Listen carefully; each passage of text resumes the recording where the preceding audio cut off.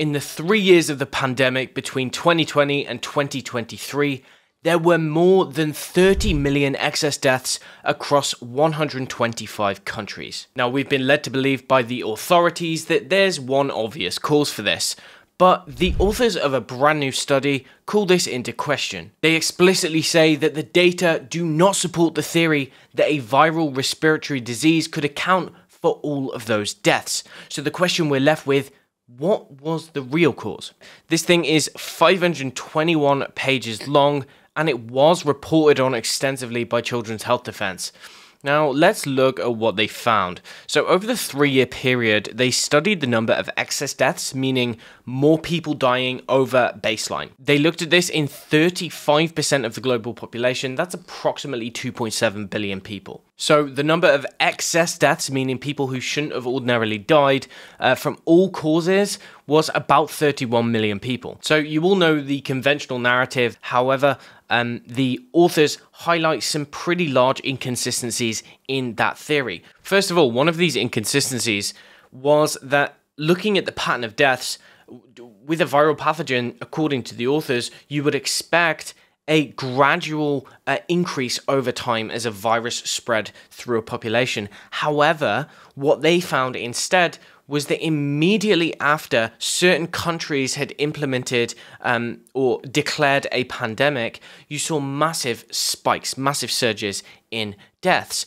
Um, this is not really to be expected. What this ultimately suggests, according to the authors, is that the response may have actually been one of the main culprits uh, rather than the pathogen itself.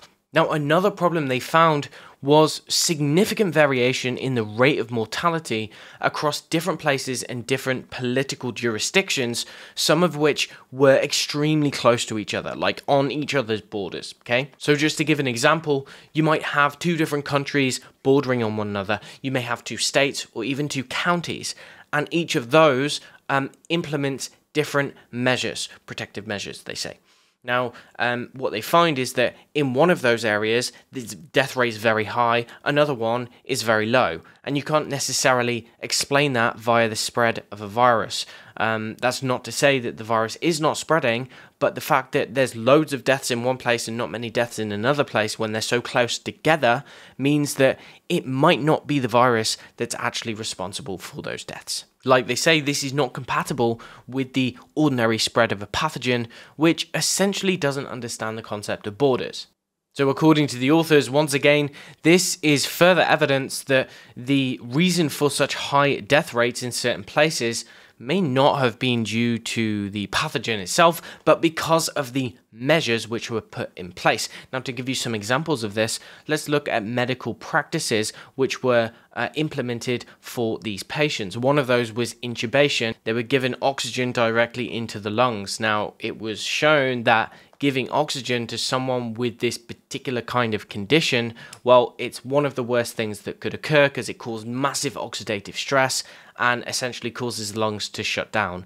Um, and so, in many cases, the intubation itself, which was a medical treatment, was actually killing many people. Likewise, there are certain medications, which you probably all know of, which were allowed in some places and banned in other places. And so, patients simply were not being able to have access to a medication which really worked, and they were being given something else which actually uh, reduced the likelihood of survival. Now, another really interesting trend that they found was there was a high variability in deaths within each country over time. So, for example, some places had no excess mortality for over a year, and then all of a sudden they had an unexpected surge in mortality for no identifiable reason.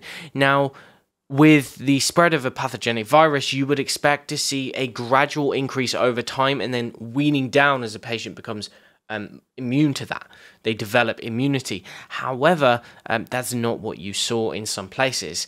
And of course, many of these surges in excess deaths also coincidentally uh, occurred after the administration of a certain medical procedure, which we all know about. So, according to the authors, all of these factors combined disprove the theory that these excess deaths were solely due to a viral respiratory disease. Just to summarize the key points in this paper, well, as soon as some countries declared a pandemic and started implementing all of those really strict measures, um, they saw massive surges in mortality. Other countries that didn't do that didn't see the same level of mortality. Next, they found massive differences in the rate of people dying um, in places that were very close to each other. So there would be super high deaths in one political jurisdiction, and then just next door, there would be very few deaths. And finally, as opposed to like a gradual increase over time in all of these different different countries, they found that there were really random surges, some super high at some point, and then low, sometimes no deaths for over a year,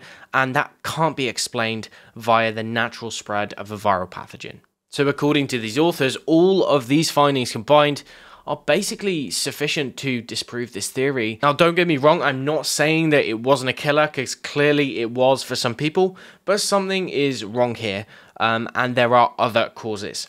So, in this paper, the authors argue that there were other factors, obviously, responsible, um, which looking back, we, we all know already and we can appreciate.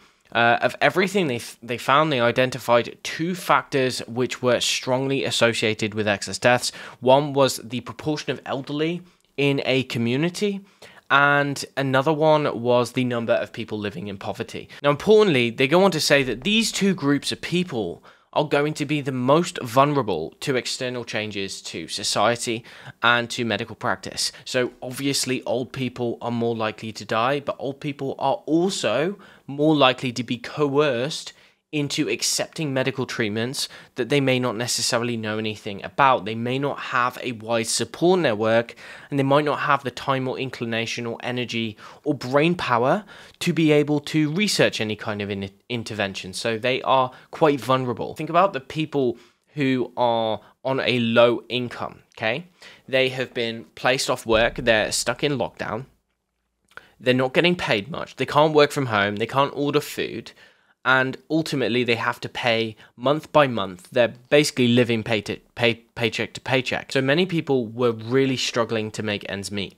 And this is a kind of underlying low level stressor that is always going to be there for someone who is struggling to put food on the table. And people were put through it for years, okay, for years. And people were isolated in their homes alone. They weren't able to see their friends, they weren't able to socialize. Many people lost family members and ultimately, um, that is a major cause for what the authors in this paper call biological stress. And this leads us to their hypothesis of the real causes of those deaths. So they, they've laid out three causes which they think could account for uh, the vast uh, number of people that did pass away during that time that are not likely due to a viral pathogen. So, first is going to be biological stress, which they say encompasses psychological stress as well. This is from the mandates, this is from the lockdowns, all of the crazy stuff that they put people through. Pure evil, what was done. The second is going to be interventions, medical interventions, which were not shots, um, but which were uh, the mechanical ventilators, the intubators, giving people oxygen. We spoke about the problem with that, but also with um, drugs which were uh, not very effective, which sometimes worsen outcomes, but which people or some people were making massive, massive, massive profits from a massive amounts of money. And so these were pushed on the population when there were more effective and safe uh, drugs available. And finally, the certain medical procedure that we all know about and I've spoken about at length, but I'm not going to talk about in this video. So, according to these authors, these three factors, which were basically all avoidable, which were completely unnecessary, these three factors potentially contributed to the death of over 30 million people over those three years. Now, the truth is, we don't know how many of those excess deaths were because of a viral pathogen and how many were not. However, they make some very good points in this paper and they highlight that probably a really large portion of those people shouldn't have died. So, if you want to learn more about this, highly recommend checking out the paper and you can read uh, the article which covers the basics. I'll link that in the description below ultimately, who's going to be held accountable for this? Who can we thank for this?